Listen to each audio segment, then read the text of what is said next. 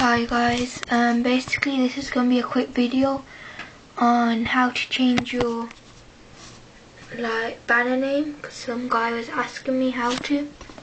So you go into Cydia, go into sections, go into all packages, but I'm just going to go into manage to show you what it's called. So you go into all packages and you type in make it mine all one word and there should be a picture there be careful because there are some dodgy versions of it. So just make sure there's a picture. So you just click on it and install but mine says modify so I've installed it already.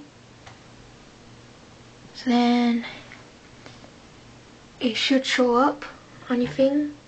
It might not look like that because this theme sort of changes some of my applications.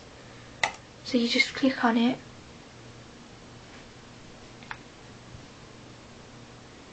and it comes up with that.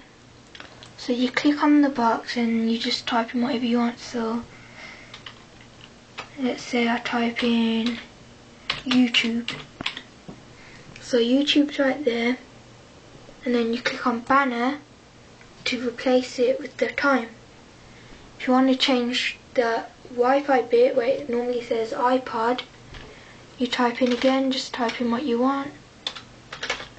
So let's say I just type in hi, you press carrier, and there you go, it's changed.